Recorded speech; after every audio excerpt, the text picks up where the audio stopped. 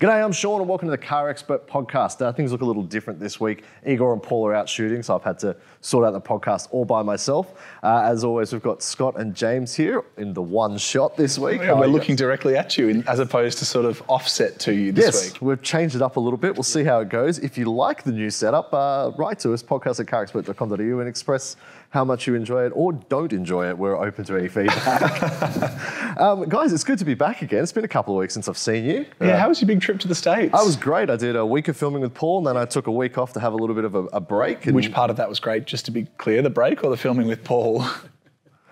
for the sake of my job, I'm going to say both. Oh, well done. Good answer. You live another week. Yes, no, it was great. Um, I went up uh, to Yosemite National Park and it snowed. I got stuck in a snowstorm. It, yeah, it was really fun. I had a really good time. And what were you driving? Because I know you rented a car when you were over there. Yeah, so after I finished with Paul, I actually ended up renting a Chevy Suburban for a week. Which Big was, boy. uh, yeah, it was only the baby engine. It was only the 5.3 litre Oh, V8. Yes. Um, but, I mean, God, that, they, they should sell that here. That thing is epic. It is just so much space, so much more room than a Land Cruiser, so much more comfortable. Like, yeah. I'd We're going to amazed. get the, is it the GMC Tahoe we're getting? The Yukon. We're getting Australia? Yukon. The The, Yukon. the, the Tahoe's the Chevrolet one. Yeah, the Right, Chevy- it's the small Suburban. So the, the Yukon is like the Suburban, but nicer. Luxurious GMC Suburban. nicer leather. And yeah. we're not sure whether we're getting the XL one, which I think is much similar to the Suburban, and then there's a standard size one, which is the Tahoe. It's like, Yeah. yeah, the, the badge engineering stuff that they do over there is really interesting. But yeah, that'll be a really interesting addition to the Australian market, I think, because we've seen that like the trucks or the pickups do really well.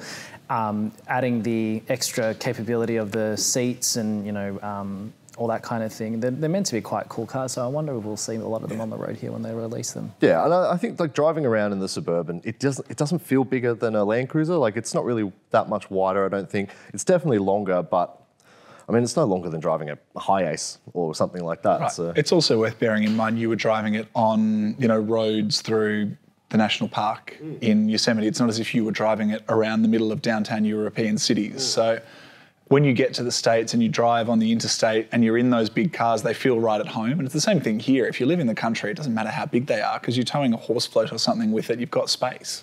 I think that's a, an interesting point because we hear a lot of people complain on socials and in comments about, oh, they're too big for the roads. But like, guys, there's trucks on the road.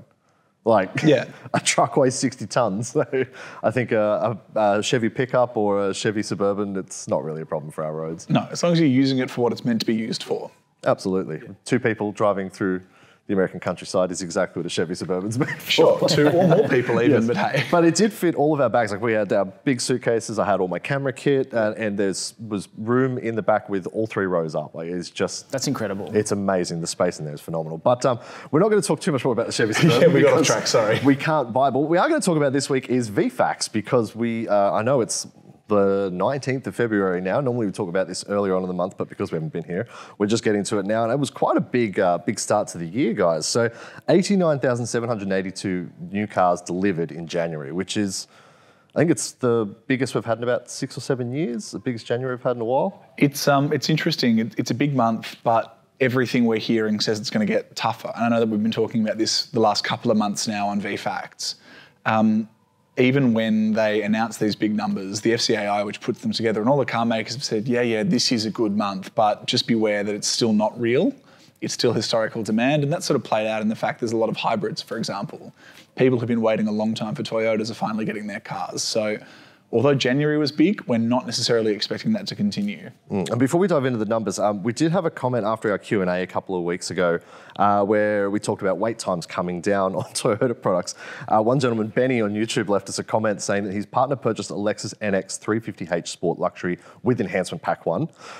uh, on the 3rd of March 2022, which is Wow, two years so ago. Uh, they were told an eight to nine month wait, and they're still waiting. Uh, and they were offered to go a different spec for more money, and they're like, no, no, we'll just we'll just wait it out. But like that's two years a long time to wait for a very long entry level Lexus. Like people are are being faced with this dilemma, right? I know Kia, Hyundai, it's it's similar, and of course Toyota as well. There are certain specs that are just really hard to get. So over at Kia, if you want a jungle green diesel Sportage, for example, you have to wait quite a long time. But the dealer might offer you a black one with a petrol engine, and I know a lot of people are quite pragmatic and willing to switch. But if you've got your heart set on something, and that Lexus is not a cheap car, you, you've really worked hard to get to the point where you can order it.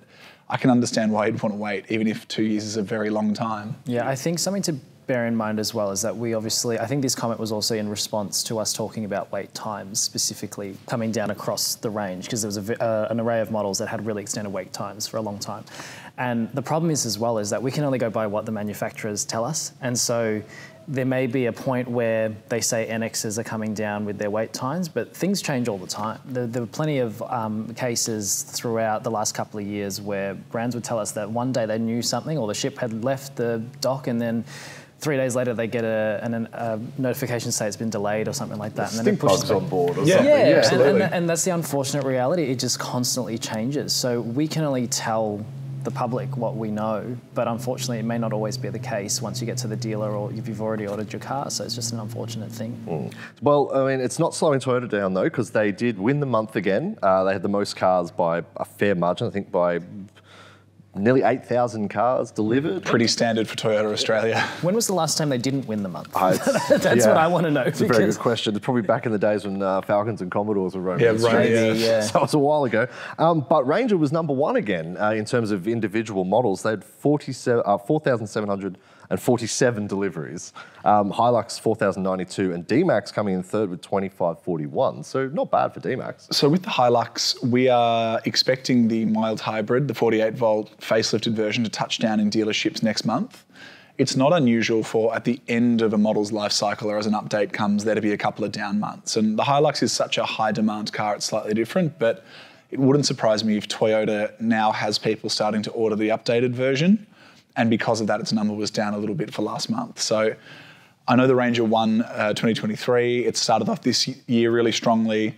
Let's just wait and see come March, April, May, as that new Hilux starts rolling out, what that looks like. Because as Ford's supply maybe wavers or there's sort of a gap between shipments and Toyota's new model arrives, I think that race is going to be very close again this year. And Hilux, I guess it's not a new model per se, but it is. There is an update to it. So they've, they've changed a bit of the design and stuff, haven't they, James? Very, very mildly. Just like the hybrid. Yeah, and, correct. so- and some very minor spec adjustments. I think the headline act is the fact that that mild hybrid diesel is now arriving, and if you're playing at home, that's also the engine that's going to be in the new Prado. So it'll be our first look at like what how that performs, and it'll be really interesting to see what consumer feedback is around how that goes with having the idle stop start system, but the mild hybrid should probably shut it off earlier, and whether that it plays into any of the capabilities of the car or just the daily usability.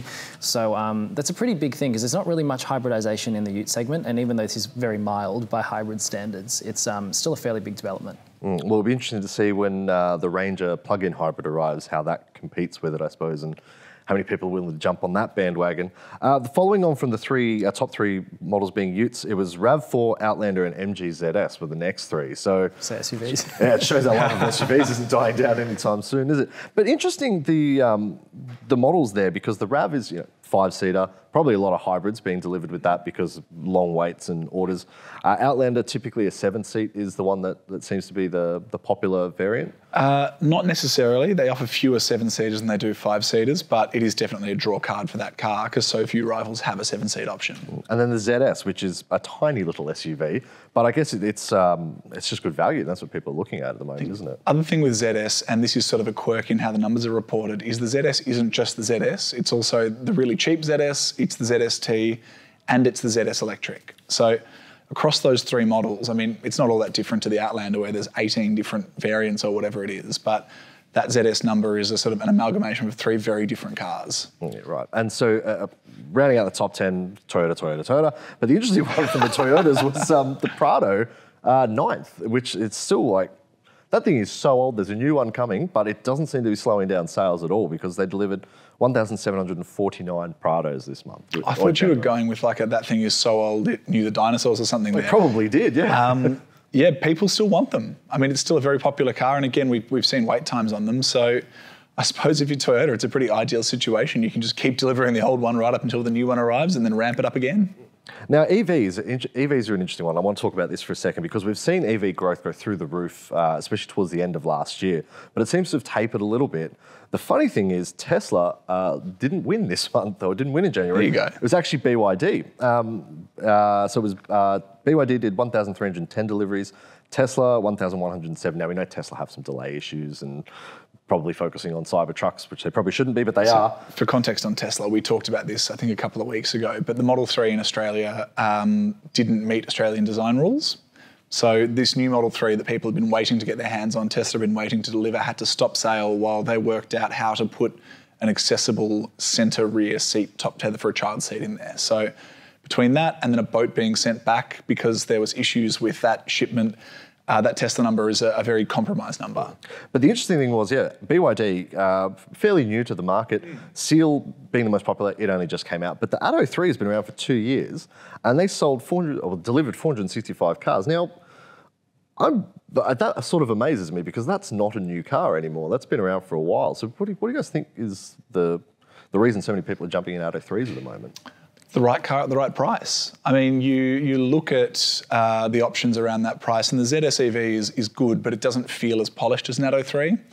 And then you also can go cheaper, but then you're looking at a smaller BYD Dolphin or an MG4. Um, the Atto 3, I don't think it's quite as good as a Model Y or a Model 3, but it's also 10, 15 grand cheaper. And you can get one quickly. You can get a couple of different color options. It all sounds like basic stuff, but just an easy solution to the problem of people wanting an affordable SUV. What about you, James? Where do you stand on the Atto 3? Well, the, the, it's hard to go anywhere these days without seeing them. I see them very, very regularly. Um, they're they look good. I think people are really interested. You know, they saw the before they got rid of the badge at the back that said "Build Your Dreams." Everyone, yeah. you know, I get questions about it all the time. So people are obviously really taken by the design and really interested in it. A lot of people are looking into moving to a, an electric vehicle, but are quite scared off by the really expensive stuff. Some people might like, like Teslas because everyone's got one.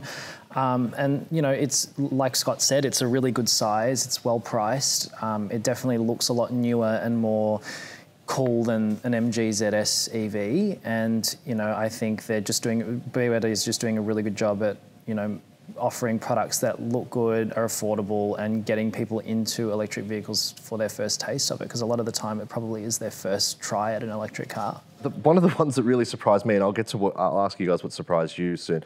But Alfa Romeo had the second biggest increase in terms of sales percentage, 224% increase month on month.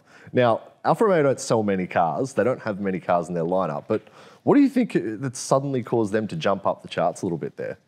Uh, if I had to guess, it'd be the Tonale plug-in hybrid. Uh, it's just touched down in Australia, and obviously they've started delivering them. Um, when you are a small brand like Alfa, new product is obviously really important because the stuff that's been here for a while we know is selling at the rate it's selling. But the Tonale PHEV is a totally new buyer. It's a totally new group of people for Alfa, and it's totally new tech. And I think that's obviously going to help them.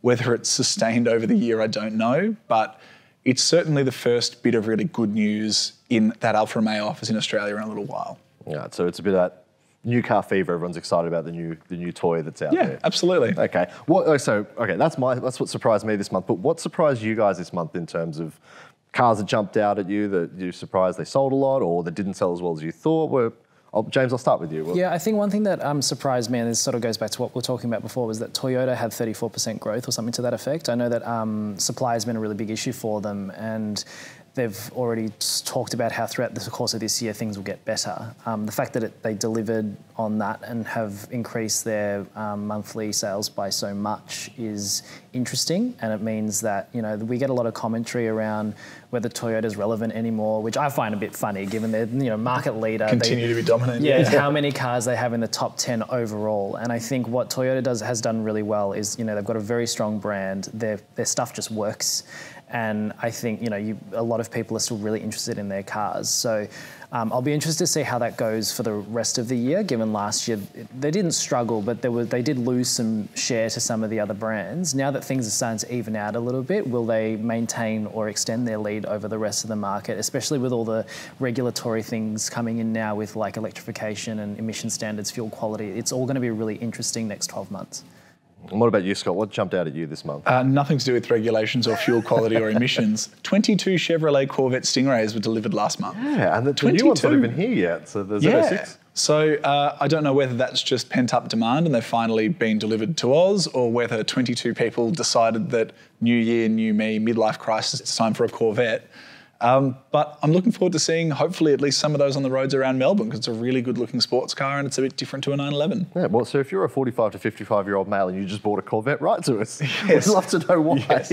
Uh, okay, well, uh, guys, just to remind you, our Ampol fuel comp is still running. Uh, it's very simple to enter. You just got to take a photo of your car with Ampol in the background. Please don't take a picture at the Bowser. That's a terrible idea. No phones at the Bowser.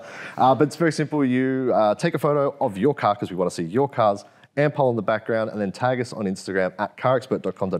Use the hashtag Ampol Fuel Comp, and uh, you can win a $200 fuel voucher. It's pretty easy money, right? Yeah, I would say so. Yeah, I mean, you guys would go out, but you can't win it because I won't give, the, give you the award. But um, All we can do is try. feel free to enter if you like. uh, okay, so uh, we're keeping it a bit shorter this week, but we're going to jump straight into our review car this week. And um, it's, it's cool, but it's also kind of sad. Um, He went up in pitch a little bit just there. That was interesting. it's a little bit sad. Uh, the V8 is dead. Long live the V8. Uh, the new C63 SE Performance Yes. from AMG. Yes. Scott has been driving it. I have. Let's um, tear the band-aid off. Scott, tell us about it. Oh, it's not a V8, just in case you didn't get that from Sean's intro. Um, it's a very, very different car. The C63 has always been this kind of German muscle car. I mean, the last one you would start it and this massive burble from the engine would rip through and windows would start shaking.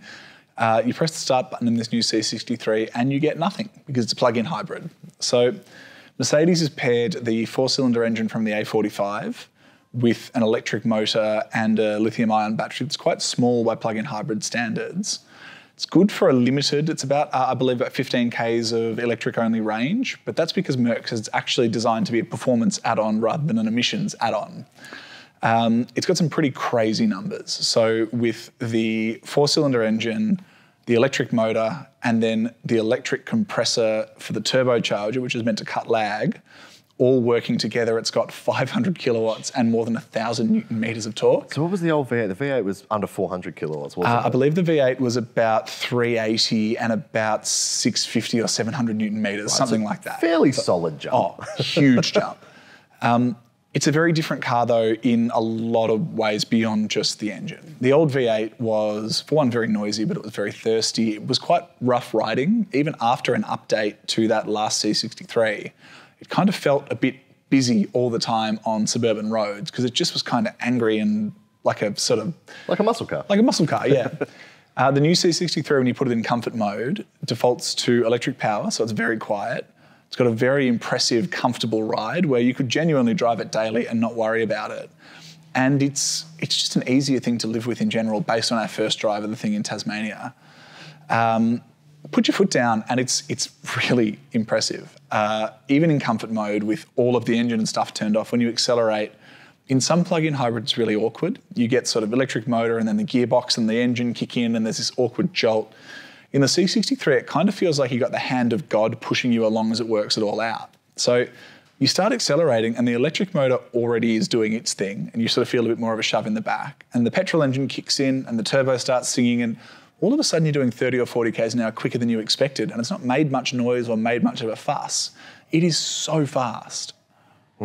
Uh, it, it, it is, but it still feels kind of. Now, uh, don't get me wrong, because that A45 engine is unbelievable. Yeah. That is such a cool. But it's in a hatchback, and so you're Yeah, like, oh, it's absolutely. super hatch. Um, I, I understand what you're saying. It feels really powerful. It feels. Does it feel like something's missing? Like if you had owned an old C63 with a V8, does it feel like something's a little bit missing and wrong? Yeah, it does. Um, I'm wary of saying this one sucks because it's not the old one. And I feel like in the car world, we do that sometimes. We're very quick to write off new ideas because we don't like them the way we like the old ones. If you bought the old C63 because you want to do laps up and down Chapel Street late at night, revving your engine, I assume because you think that's really attractive to strangers, uh, you're not going to like the new one. The four cylinder doesn't sound nearly as good when you're going hard. It still sounds sort of purposeful, but it's not a lovely warm V8 noise. Um, but if you want a proper M3 rival, the sort of car that'll really demolish a road in the way the all-wheel drive M3 will, or to a lesser extent an Audi RS4, because that's not quite as special, I don't think. The C63, the new one, really excels. Uh, it is really heavy. It, it weighs almost as much as the X-Class Ute. So it's yeah, 'cause it's over two tons. Um, It's more than it? two tons. Yeah. But you put it in its angriest sort of settings, and there's a lot of those to play around with, and it feels like a giant A45. It's got a very clever all-wheel drive system. It's capable of using the motor or a proper limited slip diff to then fiddle around with what power is being put down where. And with the suspension in its stiffer mode, it controls its weight really well. And in the old one, you always felt like you were kind of wrestling it.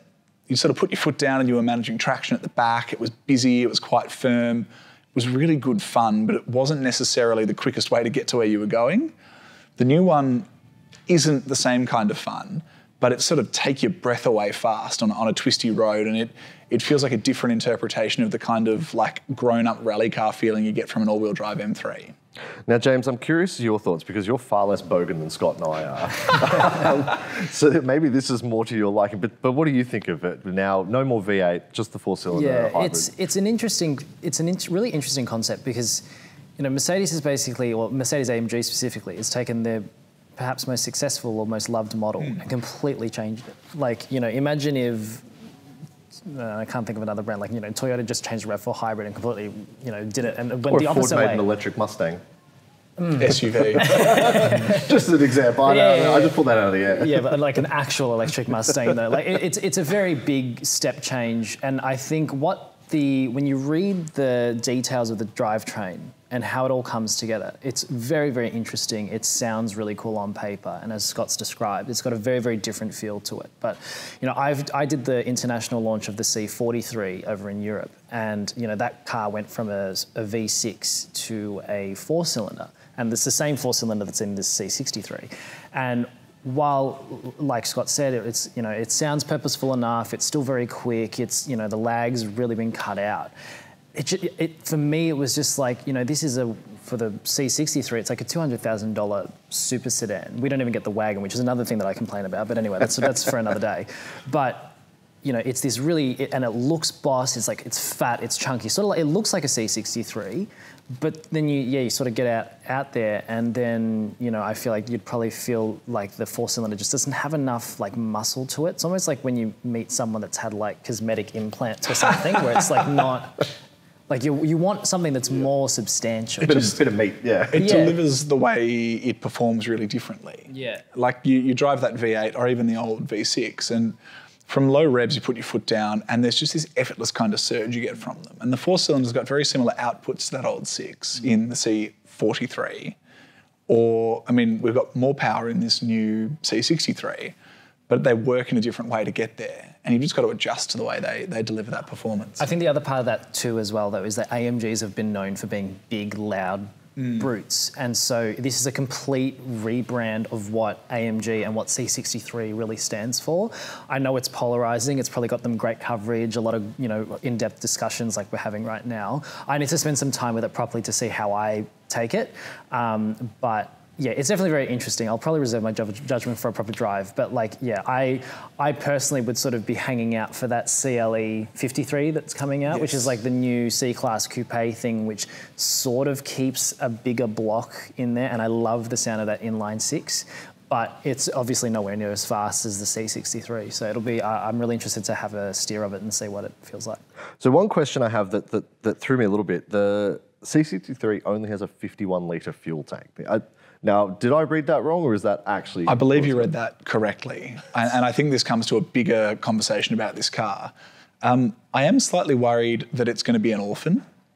And I say that because of the way that it's all put together, right? There's a really complex plug in hybrid system. The battery is under the rear seat and boot, and there's a big hump in the boot, so the boot space is limited. I worry that the next generation of this, whether it's fully electric or whether it's a more refined plug-in hybrid, is going to make this look really first generation and kind of average very quickly. And I would imagine that fuel tank is small because of the packaging, right? There's now on the rear axle, there's an electric motor, there's extra differential stuff going on, there's a battery, there's high voltage electronics, there's a lot of cooling for the battery as well. I would just imagine there's no space for the same size fuel tank you get in, you know, an M3, for example. Um, I I wonder as well beyond that though whether when the next one comes out with a flat boot floor, with a better package rear axle, with a different fuel tank, or even when the next one's fully electric, I, I don't know what it looks like. I feel like there are so many cool ideas in this car, but because of where we're at in the development of just performance tech in general, I worry it could be made to look very, I suppose, experimental very quickly, and whether it's going to be an awkward in between, or like the Polestar One, for example, which is a plug-in hybrid that now has been usurped by fully electric stuff. Um, we're kind of at a tipping point. I don't know what it looks like the future, but it seems to me like while I could, or I can, I'd be getting in on an internal combustion super sports car like an M3 or an Alfa Romeo Giulia Quadrifoglio, which is just a brilliant car. Until it breaks down. But yes. Or, yeah, unrelated. Or jumping to something fully electric. Because I wonder if in five or 10 years' time, when it comes time to try to sell or buy one of these, what the market looks like for the bridging tech that Mercedes has used. Mm. And I think that's a really good point because resale is something we hear a lot about in our comment sections and letters and stuff that people write to us, or emails, not letters, it's 2024. But um, yeah, the, I, I, imagine the, the resale value of the V8s are probably going to climb quite a lot now because like uh, when the Commodore went, yeah. went uh, four cylinder and V6, it, the V8s just went through the roof. Do you think that's going to be a similar thing here? People are going to want to hang on to the V8s, going to want to hang on to what the, the ethos of a C63 is all about? Uh, I, I think yes, but I'm also not stupid enough to think I know anything yeah. about what people are going to do with their yeah. money. So uh, looking into the crystal ball is always challenging, obviously. Yeah, I think there's definitely going to be extra demand for that old C63, especially as the world goes more electric. It sort of feels like a big middle finger to that because it's so loud and burbly and V80. Um, but it's worth remembering that Merc sold a lot of them. Like over the years, it's been a very popular car for AMG in Australia. It's it's still fairly common in the context of those cars. So I don't think values are going to skyrocket in the way they have on old 911s, for example, because there's still enough of them around that you can sort of shop people against each other. Now, the interesting thing is, and I, I, remember Mercedes have said this in the past, that the C63 was one of their biggest sellers in Australia. People love the top spec, they love the V8. The new one is around $190,000 starting price. I understand you haven't driven the C43, you haven't driven the C63, but I'm curious, your money on the table, would you spend more on the C63 or would you say the, the C43 is probably better all round package? I'd buy an M3 Touring. Okay, um, I mean, yes. No. for me, uh, I have a lot of interest in the plug in hybrid tech, and I have a lot of respect as well for the fact that Merc pulled it off. Because I've driven a BMW XM, which is also a performance plug in hybrid, and but that weighs a thousand tons and looks terrible. Well, it's not that much heavier really than the C63, but it just feels disjointed in a way the C63 doesn't. It's the most impressive performance FEV or PHEV I've ever driven. But I think for what I want from my performance car, I don't want to be thinking about all that stuff. I think I like the idea more of the C43 or or even a regular C class, to be honest. Um, yeah, I don't know that I want my performance car, and this is a personal thing. It's not like the the plug-in hybrid doesn't work. I don't know that I, I want a performance plug-in hybrid. I think I just want my performance car to be a performance car. Mm. What about you, James?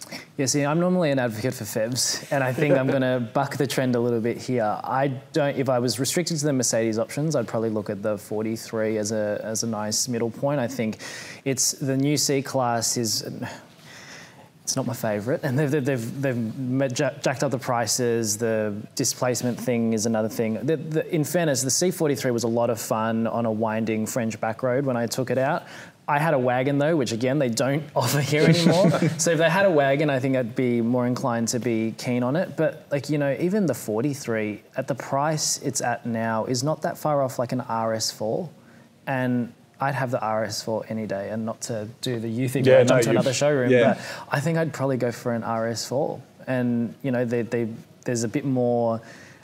I think those other the, the, BMW and the Audi products that are rivaling this at the moment have a bit more cool factor about them. The C the C class, all of them sort of look the same because they're all AMG line. Then you get to AMG, and they all they look like they have the same bumpers. The interiors are all sort of the same. They offer 50 shades of black in the interior as well. So, you know, unless there is some sort of secret um, personalization program that I don't know about, there's not really a lot of choice.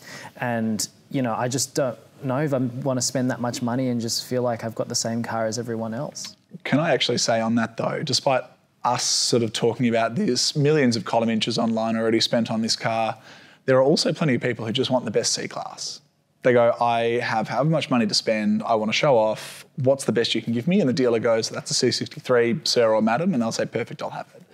So, I mean, there are definitely going to be enthusiast buyers who are, I suppose, looking somewhere else now. But by the same token, I have no doubt this will open AMG up to a new audience. And I also have no doubt that there are plenty of people who just want the best. And right now, the best that Mercedes does is that plug-in hybrid. So they'll take the plug-in hybrid. I think that's a very good point. I think with those sort of brands, Mercedes, BMW, Lexus, all those, they are very loyal buyers a lot of the time. So I think that if you buy an old C63, there's a very good chance that your You'll consider the guaranteed new future one. value will lead you straight into a new Yeah, one. potentially. And I think one more thing to add on that is Mercedes has technically been a pioneer of technology, and that's something that a lot of customers have followed the brand for. This is a huge innovation for them. So I can see that for their customer base, while it's polarizing that, you know, some of the bogans that first got into an AMG C63 because, you know, they got enough money and they could afford something like that, that's what they got. But I think a lot of traditional Mercedes buyers who are really into all of the innovations and all the cool things that Mercedes brings out with each generation, I think this is just another selling point for that. So, you know, I think that plays to that as well. And we'll wait to see whether Lewis Hamilton leaving Mercedes has uh, any effect on its sales. uh, Ferrari sales go through the roof. I know uh, Alborz, is one of our founders, is is very, very sad about it at the moment, but um, he might buy another Ferrari, you never know. I'm, I'm, uh, I'm not going to comment on any of the F1 stuff because if you told me to guess last year if Lewis was leaving or not, I would have said you're crazy. He's not going anywhere. yeah. Yeah, that- that's all right. That's for a whole other podcast. Different po- podcast entirely. But uh, it is time for our picks of the week. We're nearly at the end. So, James, I'll throw over to you first. What is your pick this week? Um, so I came across this TikTok of Carlos Sainz Jr. making pancakes. And although that sounds completely random, We're a car podcast. yeah. So he's an F1 driver to be specific, but there was, it was just Loose term, Yeah, yeah. I know. For the moment, anyway. I found it funny though because he did this interview ages ago where I think um, F1 does do these really funny interview segments with all the different drivers, and he did this one segment where he was talking about how he has this awesome recipe for pancakes, and so he overlays this vi- vision of him making the recipe that he talks about in this previous interview, and I just thought it was funny. So that's my pick for this. So, James will be making his Carlos Sainz pancakes next week. I week. hope so, yeah. Yep, that's, that's your task, your homework this week. Figure that out, James. Scott, what's your pick this week? I'm just trying to work out what's so special about Carlos' pancake recipe. Um, my the pick, hair. I think it's Carlos' hair. it's Carlos. It's like watching myself. I'm going to leave that alone. Uh, my pick this week is an Instagrammer called Lexie Limitless. Um, she was the youngest person ever to travel to all 196 countries in the world. I realise there are some countries you can't get to. And So some countries that aren't countries, but let's not. let's not. This is another podcast again. Um, it's a world record that she holds. At the moment, she's in the process of circumnavigating the globe in a Ford Explorer electric car.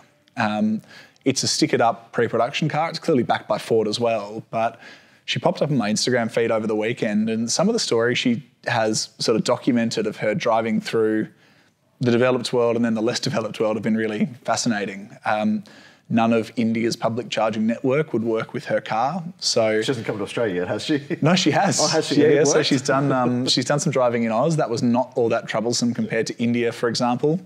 Uh, she also documents going through very remote parts of um, of Africa. It, it's a really interesting series of bits of content, and I think the fact that it's honest about the fact that electric cars aren't quite ready in certain parts of the world is also refreshing, because she's living it and she's showing it. Does she have a diesel generator in the back to charge it up?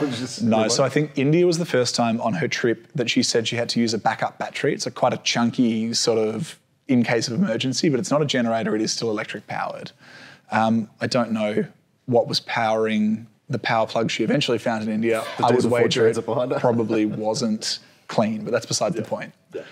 Uh, my pick this week, Bathurst 12 hour was run yesterday. Great race. If you haven't watched it, uh, definitely check it out. Uh, 911 won, which was cool. I know that you're very happy about that, Scott. 911 with the number 912 on it. Yes, uh, the Grello Porsche, which was very cool. But the really cool thing I found from the weekend was Ford brought out their fully electric super van. Now, James, I know you're not the biggest fan of the van, but Oh, look, I think it's cool, but I, you know, they've been posting on Instagram quite a lot about it, going around Sydney Motorsport Park. and I just got sick of seeing the same barriers. Well, now it's been around Bathurst, which is very, very cool in the wet or damp conditions anyway. Um, but the funny thing was, Ford said, "Oh, we're going to be running three motor setup, you know, 1500 horsepower," and then they sent out a correction to that press release saying, "Oh, sorry, we're, we're not running three. We're actually going to run all four electric motors." Oh, okay. And do 2,000 horsepower. Wow. 2,000 horsepower out of this fully electric van. They did a massive skid down uh, the front straight of Bathurst and then ran a couple of laps. And I think that is just very, very cool. It might be one of the fastest cars ever to go around. Did they ever disclose the time that it did? I don't, I don't recall it, but I think just the power numbers alone are pretty, pretty well. They put that um, 330 kilometre hour skyline to, to the test down Conrod. I imagine. It's um, it's almost as big as that Bentley Continental GT that um, that was running in GT3 racing a couple of years ago. Very similar across the top of the mountain. Yeah, It was no good in the rain either. So. No, it's struggled. Uh, well, that pretty much brings us to the end this week, guys. Any final thoughts before we wrap it up? Um, I'm actually excited because there's another race at Bathurst this week, isn't there? Yeah, the V8s are there this week. Yeah. Sorry, we're not allowed to call the V8s. Well, the supercars, The are there supercars, this week. yes. So Bathurst Superfest is this week. So, Awesome. Yeah, unfortunately, Newcastle fell over and they're starting the season at Bathurst. I'll leave that up to you whether you think that's a good or a bad thing, but I, I think more Bathurst the better. But yeah, that'd be cool. James, any final thoughts? No, I think we're just in a really exciting period for you know for us. We've got a lot of events coming on at the moment. We've got a lot of new cars that are being released, and we're doing all the launch drives and things like that. So it's just a really exciting time for us as journos to be um, you know covering cars that people actually care about. Like I was just on the Triton last week. The review goes live on March one. We will talk about it, but we're just not allowed to at the moment. Yeah. Yeah, not yet. Uh, we've got a couple of other important cars coming up with the Toyota BZ4X, Subaru Solterra, and less important, the Ioniq 5N. But you know, there's some really cool stuff happening at the moment, and just it's it's really cool to see the industry really coming alive again. So yeah. So, do you have any questions about uh, any of the new cars that are coming out this year? The guys are happy to answer whatever they can. Uh, and if there's anything specific, we'll keep you updated week to week what they're going to be driving, what new cars are coming, so that if you have any questions, you can ask and they'll be able to answer it on the podcast. Guys, thanks for joining me once again. Uh, hopefully, next week we return to normal operations. Yes. But I, th- I think this has worked quite well. I quite like the face to faceness, that's not a word, of this. It's nice talking directly to you. Yeah, it's a nice change. What do you guys think? Let us know. Uh, I just looked at the other camera that can't see me. Uh, guys, thanks for joining me. Thank you everyone for tuning in. We'll be back next week. Don't forget to uh, subscribe if you're on YouTube, follow us or download us if you're listening on audio platform, and leave us a five star review because uh, we appreciate it and we think we're pretty awesome. So hopefully you do too. anyway, we'll see you next week.